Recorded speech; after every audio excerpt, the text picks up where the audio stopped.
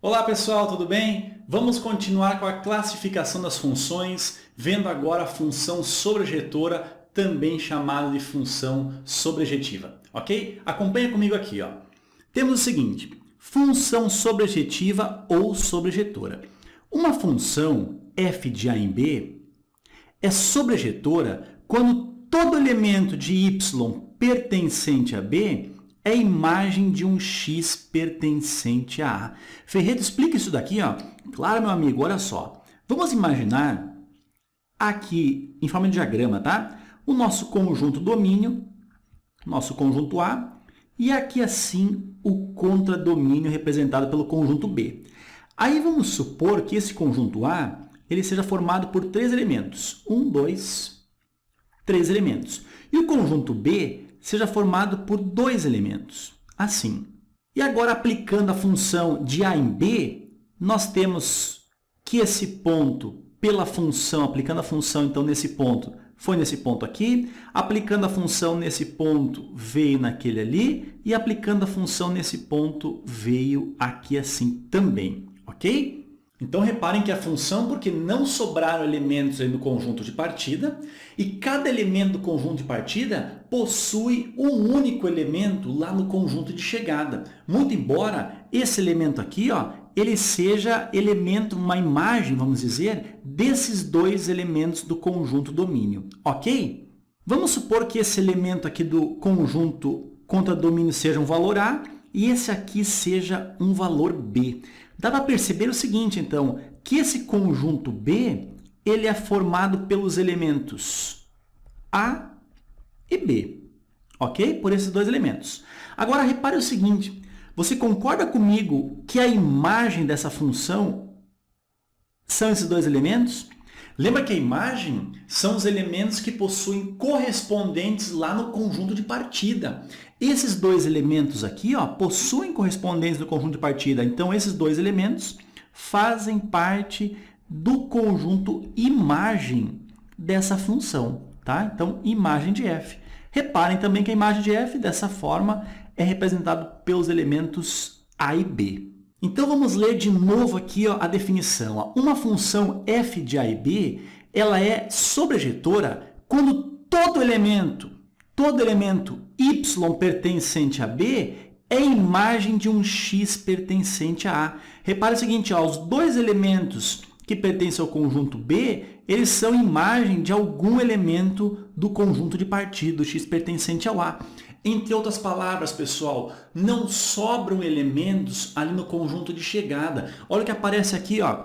A imagem ela é exatamente igual ao contradomínio. Repare que nesse caso, então, a imagem ficou igual ao contradomínio e aqui seria, então, um exemplo de uma função sobrejetora, tá? Agora é o seguinte, se nós colocarmos mais um ponto aqui assim, ó, representado pelo item C, por exemplo, um ponto C, você concorda comigo que esse ponto aqui, ó, ele faz parte do contradomínio, porém não faz parte do conjunto imagem, porque ele não tem correspondente lá no conjunto de partida?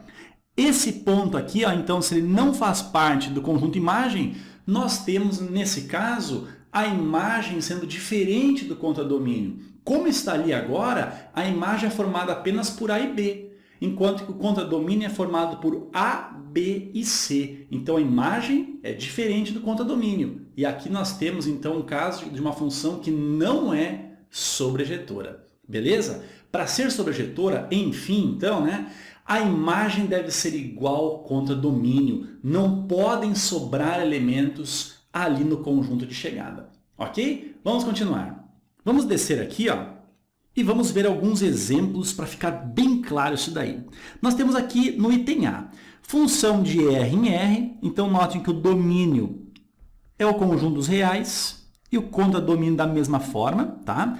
Tal que f de x é igual a x mais 3.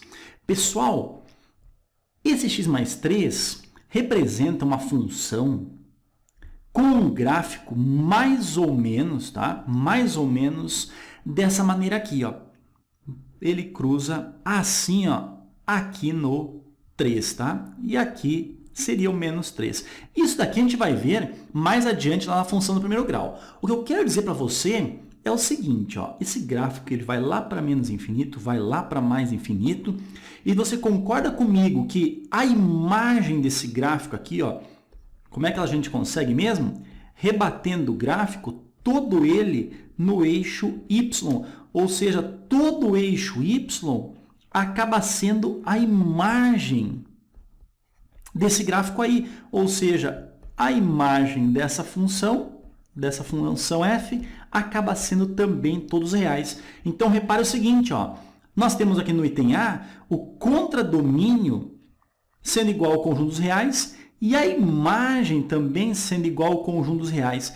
Nesse caso, se a imagem é igual ao contradomínio, nós temos então esse exemplo como um exemplo de uma função sobrejetora, ok?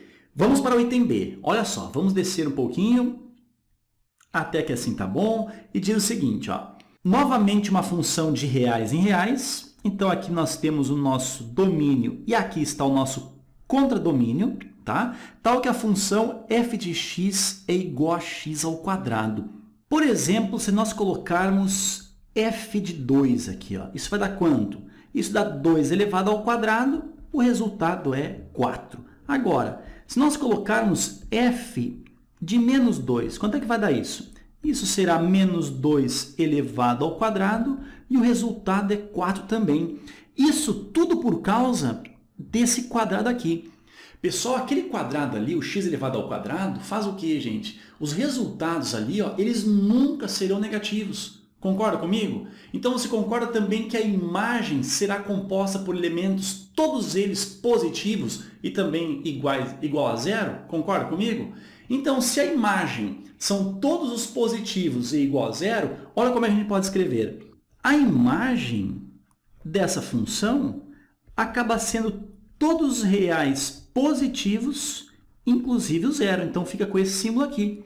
E reparem o seguinte, nós temos o contradomínio formado por todos os reais, enquanto a imagem é formada apenas pelos reais não negativos. Dessa forma, domínio é diferente de, da imagem, então nós temos aqui uma função que não é sobrejetora.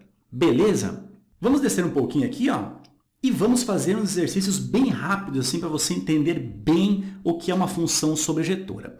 Olha só, no item A, temos a função de reais em reais, então o contradomínio aqui ó, são todos os reais, beleza? E é dada por essa função aqui. Pessoal, essa função é um gráfico que tem mais ou menos esse formato. Se aqui é o eixo x e aqui é o eixo y, nós temos esse gráfico mais ou menos assim. Ele vem aqui assim na origem, depois vai lá para baixo. Aí, com isso daí, pessoal, você concorda comigo que a imagem são todos os elementos aqui que eu estou pintando, ó, vai do menos infinito até o mais infinito? Concorda comigo? Então, se a imagem dessa função são todos os elementos do eixo y, então a imagem são todos os reais. Então, se a imagem são todos os reais, nós temos aqui a imagem exatamente igual ao contradomínio. Então, essa função aqui do item A é uma função sobrejetora. Olhem o item B. Nós temos aqui uma função onde o conjunto domínio aqui ó, é representado pelos reais positivos, enquanto que o contradomínio é representado pelos reais não negativos. Qual a diferença desses dois aqui? Ó? Aqui, pessoal, olha que não tem um asterisco, ou seja, o zero está presente aqui no conjunto de chegada, no contradomínio. Então, fazendo assim em forma de diagrama, um exemplo bem rápido aqui, ó. por exemplo, imagine aqui o conjunto dos reais positivos, tá? dessa forma aqui, e aqui o conjunto de chegada, os reais não negativos. Então, nós temos assim. Nesse conjunto de partida, repare, ó, o zero não entra. Aí, por exemplo, vai entrar o 1, vai entrar o 3, vai entrar outros valores aqui. Enquanto que o conjunto de chegada, nós temos o zero pertencendo a ele. Olha só, não tem o um asterisco, então aqui no conjunto de chegada nós temos o zero, nós temos, por exemplo, o 2, nós temos o 6 e por aí vai. Olha só, só um exemplo.